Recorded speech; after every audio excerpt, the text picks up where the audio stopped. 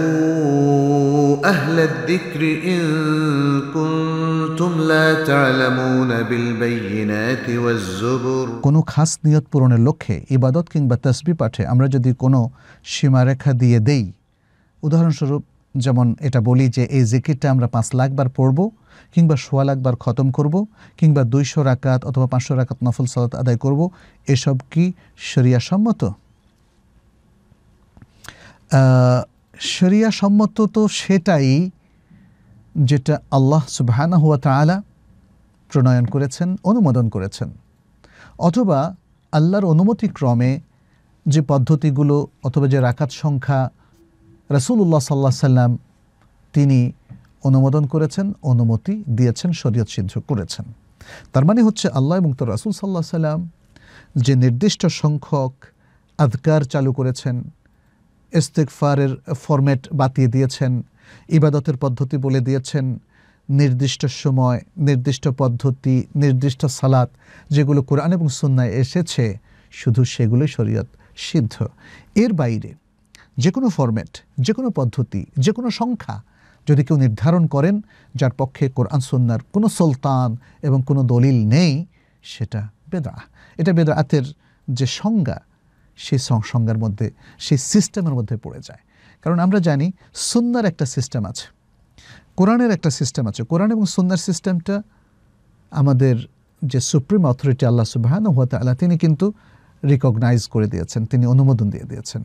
কিন্তু এর বাইরে যদি কোনো মানুষ নিজের অথরিটি নিয়ে শরিয়ার মধ্যে কোনো জিনিস উদ্ভাবন করেন, প্রচলন করেন, চালু করেন, সেটা হক ফরম্যাটের ক্ষেত্রে, পদ্ধতির ক্ষেত্রে, আমলের পদ্ধতির ক্ষেত্রে, সময়ে নির্ধারণের ক্ষেত্রে, স্থান নির্ধারণের ক্ষেত্রে কিংবা আদাদ কিংবা সংখ্যা নির্ধারণের ক্ষেত্রে যে কোনো একটাই যদি ঘটে যায় আমাদের আমলের মধ্যে, তাহলে সেটা বেদাতে রূপান্তরিত হবে। তাহলে যেমন ধরেন অমরা অমরার জন্য আল্লাহ সুবহান হুয়া নির্ধারণ করে দিয়েছেন মাক্কানগরী তওয়াফ এবং সাই, তাই না? যেটা কায়বা কায়বার চারিদিকে সাত তওয়াফ এবং সাফা মারোয়ায় সাতটা শাড়ি ছাড়া তো তো ওমরা হবে না। এখন কেউ যদি এই ওমরাটা মদিনায় করতে চায়, হবে কি? হবে না। তাহলে স্থান পরিবর্তন করলে আসলে কোনো সুযোগ নাই, সে আমলটা শুদ্ধ হওয়ার। হজের জন্য আমরা জানি আশরুল হজ এবং বিশেষ করে হজের মূল পর্ব হচ্ছে আলহাজ আরাফা আরাফাত দিন। মুজদালিফায় আরাফাত দিন দিবাগত রাত্রে অবস্থান করতে হয়। এবং আরাফার দিনের পরেই হজের তওয়াফ এবং সাড়িটা করতে হয়, বিশেষ করে যারা তামাত্র করছেন।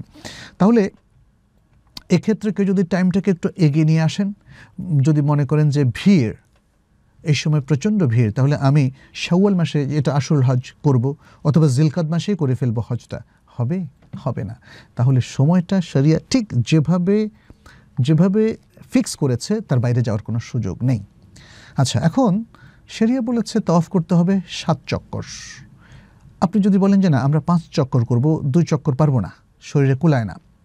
অথবা কেউ যদি বলে, না, আমি তো তাগড়া জোয়ান আমি দশ চক্কর তফ করব। এবং সাইয়ের ক্ষেত্রেও আমি সাতটা সাইয়ের পরিবর্তে দশটা শাড়ি করব। তাহলে কি হবে? হবে না। তাহলে আপনি আমল যদি বাড়ান, বেশি সব পাওয়ার নিয়তে তাহলেও বেদাত। আবার আমল যদি কমান তাহলেও বেদা, তাহলে আপনাকে এই যে সংখ্যাটা ঠিক রাখতে হবে, রাকাত সংখ্যা। জোহরের ফরজ সালা চার রাকাত। আপনি যদি বলেন যে আমি ছ- দুই রাকাত বাড়িয়ে ছয় রাকাত করে ফেলব, অথবা এক রাকাত বাড়িয়ে পাঁচ রাকাত করে ফেলব, ফজরের ফরজ সালা হলো দুই রাকাত। আপনি যদি বলেন যে না, এখন থেকে আমরা চার রাকাত পড়ব, কোনো সুযোগ নেই, কোনো সুযোগ নেই। তাহলে আধকারের ক্ষেত্রেও আমরা বলব যে এখানেও কোনো সুযোগ নেই। এখানে আমরা দেখি যে আদকার এবং ইস্তেকফার ইত্যাদি ক্ষেত্রে শরিয়া আমাদেরকে দুটো দিক নির্দেশনা দিয়েছে।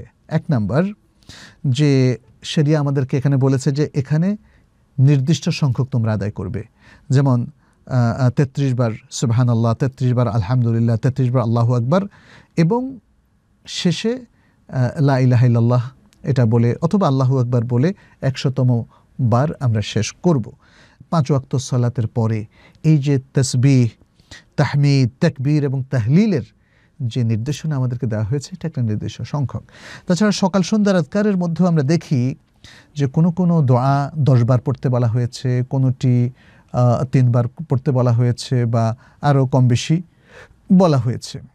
তাহলে সহি সুন্না দ্বারা যে সংখ্যাটা প্রতিষ্ঠিত সেটা আপনি সেভাবে আমল করতে কোনো অসুবিধা নাই। কিন্তু সে আমলের বাইরে অন্য আমলে আপনি আরেকটা সংখ্যা নিজের থেকে নির্ধারণ করতে পারেন না। দ্বিতীয় যে আদকার এবং ইস্তেকফারের যে প্রকারগুলো আমরা সকাল সন্ধ্যার আদকার বা অন্যান্য দোয়ার ক্ষেত্রে আমরা দেখি, সেগুলো শরিয়া মোতলাক রেখে দিয়েছে। কমন। কোনো নির্দিষ্ট সংখ্যার সাথে সেগুলোকে খাস করেনি।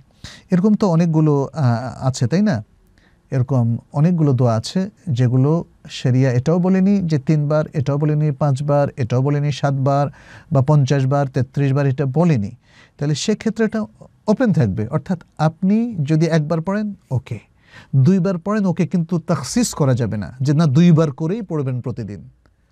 ফিক্স করবেন না। আপনি যদি কখনো মনে করেন যে না, এই দোয়াটা আমার ভালো লেগেছে, আজকে আমি আরও কয়েকবার পড়ব। আরও কয়েকবার পড়তে পারেন, কিন্তু কতবার? এটাকে নির্দিষ্ট করা যাবে না ফিক্স করা যাবে না। আপনি অনির্দিষ্টভাবে যতবার ইচ্ছা পড়েন, কোনো অসুবিধা নেই। তাহলে এই ক্ষেত্রে যে প্রশ্নের যে কথাটা হচ্ছে, এই জেকেটটা পাঁচ লাখবার পড়বেন কে নির্ধারণ করল এটা? অথবা সোয়া লাখবার এই খতমটা করবেন, কে এই নির্দেশনাটা দিল? দুইশো রাকাত পড়ার বা পাঁচশো রাকাত অমুক মসজিদে পড়ার নির্দেশনা কে দিল। অতএব আমি আশা করি যে ডিসকাশন থেকে আমরা সবাই বুঝতে পেরেছি যে কি আমাদের করণীয় এবং কেন এই নির্দিষ্ট সংখ্যক যার পক্ষে কোরআন সুন্দর কোনো দলিল নেই, কেন সেটা বেদাত হচ্ছে, আমাদেরকে সেটা বুঝতে হবে। আমরা দেখি কিছু আনঅথরাইজড বইপত্রে যেটা ইসলামের উপর লেখা হয়েছে, যদিও সেখানে পক্ষে কোনো দলিল তারা উপস্থাপন করতে পারেনি, তারা এই ধরনের কিছু খতম কিংবা কিছু ওয়ার্ড কিছু ওয়াজিফা তারা নিজের পক্ষ থেকে চালু করেছে, যেটা কোরআন হাদিস নির্ভর নয়। সেগুলো অবশ্যই বর্জনীয়, কারণ ইসলামী শরিয়াত এটা আল্লাহর পক্ষ থেকে আমরা পেয়েছি ওহির মাধ্যমে।